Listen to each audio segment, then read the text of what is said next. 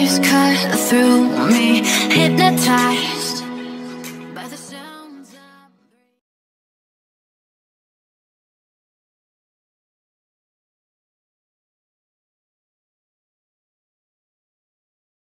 halos 3 milyon na po or 2,959,829 doses ang na-administer as of May 15, 2021, 6 p.m. ayon po sa National Task Force. Nangunguna pa rin po ang mga A1, Workers in Frontline Health Services. No? Tignan po natin ang graphics ah, ng mga nabakunahan na from A1 to A4 makikita nyo po na sa A1, sa first dose, meron na tayong 1,215,974. Sa ating mga seniors, meron na po tayong 589,943. Sa ating mga merong comorbidities o yung A3, 430,525. At uh, yung uh, um, frontline personnel po na nasa um, A4, meron pong 8,955. Now, yung mga nakumpleto na po yung second dosage no, sa mga A1 na health workers, 414,467. Sa ating mga seniors, 82,999. Sa ating uh, mga um, may comorbidities, 216,774. At sa ating A4 na mga frontliners, economic frontliners ay 192 uh, or suma total 714,442 na po ang merong completed two dosage. Now, sino ba ho ang bumubuo ng A4? Well, alam niyo po ang A4 ay mga economic frontliners. Sila po yung mga commuter transportation, no? Yung public and private wet and dry market vendors, no? Yung workers in manufacturing for food, beverage, medical and pharmaceutical products. Yung ating frontline workers in food retail, mga frontline workers in financial services, yung ating um, frontline workers in hotels and accommodation establishment, yung frontline workers in hotels and accommodations uh, establishments, priests, pastors, rabbis, imams, security guards, personnel assigned in establishment offices, agencies, and organizations identified in the list of priority industry sectors, frontline workers in news media, both private and government. Ako, malaki niyang press corps. Pag nabakunahan na kayo, pwede na tayo mag face-to-face uli. Customer facing personnel of telecoms, cable, and internet in service providers, mga frontline personnel in basic education, overseas Filipino workers, mga frontline workers in law, justice, security, and social protection sectors, mga abogado po yan, no?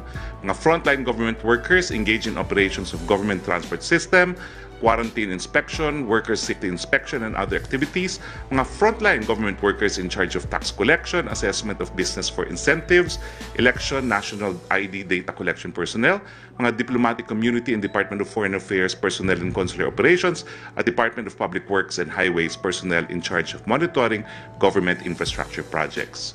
Ngayon naman po ay napagkasundoan ng inyong IATF ng mga gobernador at mga mayor ay mapapabilang na rin po sa priority A 1.5. Ito ang nilalaman ng IATF Resolution 115.B. Sa mga mayors at governors, magpapakuna rin na rin po tayo. Nasa anong estado na po tayo sa pagbabakuna? Tingnan natin ang infographic ng Simultaneous Vaccine Administration. Talaga naman pong inuna natin ang A1, A2 at A3. At ang plano po natin hanggang katapusan ng Mayo ay A1, A2, A3. Pero pagdating po ng third quarter, beginning uh, June or possibly a bit earlier po, eh hanggang A4 at A5 ay mababakunahan na rin natin. Sabay-sabay na po yan. Kaya nga po hinahanda na natin yung ating mga mega at minsan giga vaccination centers. At pagdating po ng uh, Agosto, eh sisimulan na po natin pati ang B, ang buong sambayan ng Pilipino hanggang ma-achieve po natin ang herd immunity dahil magkakaroon na tayo ng mga bakunadong between 50 to 70 million by the fourth quarter of 2021. Ngayon, ano po yung strategiya natin? No? Well, siyempre po, sa kahit anong pandemya, bibigyan natin ng prioridad o unahin natin yung mga lugar kung saan mataas po ang COVID-19. Hindi po yan badge of honor. Ang katunayan po, malungkot yan, pero dahil naririto po mga kaso, dito po talaga dapat nating simulan. Pero ito naman po ay paninimula lamang. At ito pong dahilan kung bakit magsisimula tayo sa NCR at saka yung Class 6 provinces, uh, yung Bulacan, Cavite, Pampanga, Laguna, Batangas, and Rizal, kasama po ang Metro Cebu and Metro Davao. Pero hindi po natin kakalimutan ang buong daigdig. Sa isang uh, model po na pinag-usapan kung kailan lamang, Ah, sa kasagsagan po, pag nariyan ng mga bakuna, mga 42% po ang i-reserve natin sa NCR plus 6 including Metro Cebu and Metro Davao. At yung balanse naman po na mahigit 60% pupunta pa rin sa buong Pilipinas. Pero yung ating expansion areas po, unahin natin yung Region 3, Region 4, Cagayan de Oro, Baguio City, and Zamboanga City. Tapos yung Bacolod, Iloilo, Jensan, Iligan, Region 7 and Region 11. Tapos Region 10, Region 6, Region 8, Region 9, Region 2, and CAR. Tapos yung Region 5, Region 1, Region 12, and Region 13. So ang suma total po, ang mababakunahan natin ay 83,829,719,000 at ang 70% po niyan ay 58,660,603. Okay. Samantala, nagsimula nung Sabado ang GCQ with heightened restrictions sa NCR Plus at tatagal hanggang katapusan ng buwan. Ulitin po natin kung ano ba ang ibig sabihin ng GCQ with heightened restrictions. No? Well, uh, tignan po natin itong infographics. Meron po tayong baghagyang pagbukas ng ekonomiya, bagat hindi, hindi po ito katumpad ng mga binuksan na nating ekonomiya sa ilalim ng ordinaryong GCQ.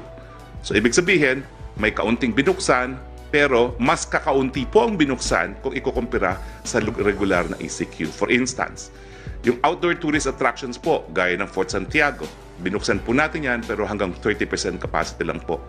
Yung mga beauty salons, bar barbershops, beauty parlors, medical aesthetic clinics, cosmetic or derma clinics, nail spas, reflexology, aesthetics, wellness and holistic centers, and other similar establishments, acupuncture and electrocutory establishments, binuksan po natin yan hanggang 30% lamang. Yung limited special events at accredited establishments ng DOT, 10% po. Yung outdoor dine-in services, al fresco, 50%. Yung indoor dine-in ay hanggang 20% lang po. Ano pong hindi pa allowed? Yung mga indoor non-contact sports, courts or venues. So yung mga nagtatanong po sa akin, yung mga badminton na indoor po, hindi pa rin po allowed. No? Ang mga gyms, hindi po rin po allowed yan. No? Kasama po yung mga fitness studios, gyms, spa, or other indoor leisure centers of facilities and swimming pools. Kaya lahat po tayo ay tumataba ngayon. No? Indoor visitors or tourist attractions, libraries, archives, museum, galleries, and cultural shows and exhibits ay hindi pa rin po pinapayagan. Yung venues for meetings, incentives, and conferences and exhibitions, hindi pa rin po pinapayagan. Yung entertainment ve- venues, yung mga bars, concert halls, and theaters, bawal pa rin po. Yung recreation venues, gaya ng internet cafes, billiards, halls, arcades, amusement parks, fairs, playgrounds, kiddie rides, at iba pa, hindi pa rin po yan pinapayagan. So ang ating strategiya po, unti-unting pagbubukas kasi ang hinaharap po natin ay mga new variants na mas mabilis kumalat, mas nakakahawa at meron pa pong banta na double mutants no, na galing po sa India. So, sa GCQ with heightened restrictions, allowed naman po yung non-contact sports na outdoors, no? Um, kaya po, kasama na po yung mga games ng, at saka scrimmages, basta outdoors po. Ang religious gatherings po natin, allowed po tayo hanggang 10%. Yung populasyon po, nananatili po na under 18 and over 65, manatili muna po tayo sa ating mga tahanan. Bakit po? Kasi lalong-lalo na yung mga seniors, kayo po ang merong pinakamalaking banta sa COVID-19. Pero ang transport naman po, lahat naman po yan ay operational, no? subject to strict health, minimum health standards. COVID-19 updates naman po tayo. Ito po ang running uh, ang ranking natin no in relation to the rest of the whole world no sang ayon po ito sa Johns Hopkins. Number 24 ang Pilipinas po pagdating sa total cases. Number 29 po tayo pagdating sa active cases. Number 136 po tayo sa cases per 100,000 population. At number 92 po tayo sa case fatality rate na nanatili po sa 1.7%. Salamat po sa ating mga medical frontliners. Meron tayong 5,700 790 na mga bagong kaso ayon sa May 16, 2021 datos ng DOH. Walang sawa kaming nagpapasalamat sa magagaling, masisipag at dedicated na medical frontliners dahil patuloy ang pagtaas ng mga gumagaling. Nasa 1,069,868 na po ang bilang ng mga nag-recover. Samantalang malungkot naman natin binabalita na 19,191 ang biniwan ng buhay dahil po sa coronavirus. Nakikiramay po kami 1.68 po ang ating fatality rate. Ito naman po ang kalagayan ng ating mga ospital. No? Bumubuti po talaga ang ating healthcare utilization rate. Unahin natin sa National Capital Region. 57% na lang po ang utilize sa ating mga um, ICU beds. No? 42% na lang po ang utilize sa ating isolation beds, 47% na lang po ang utilize sa ating ward beds, at 46% na lang po ang utilize sa ventilators. Sa buong Pilipinas, 58% po ang utilization natin ng ating ICU beds, 43% ang isolation beds, 47% ang ward beds, at 40% utilize ang ating mga ventilators. So wala pa po tayo sa moderate risk sa lahat ng ating healthcare um, utilization.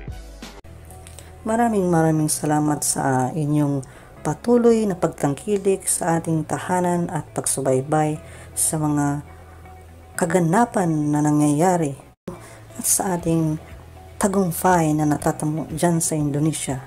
Hopefully, we will see you again in our next update. God bless.